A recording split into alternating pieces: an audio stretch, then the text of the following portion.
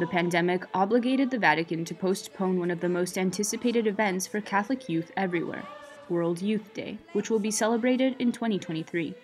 This year, Panamanian young people were not able to hand off the cross to their Portuguese peers on Palm Sunday, but they will do so on the Solemnity of Christ the King, this November 22nd in St. Peter's Basilica.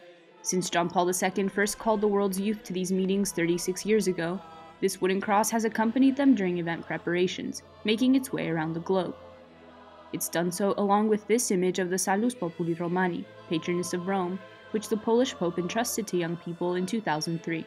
This Sunday, the World Youth Day Cross will begin its tour through Portugal, accompanying preparations for the big event in summer 2023.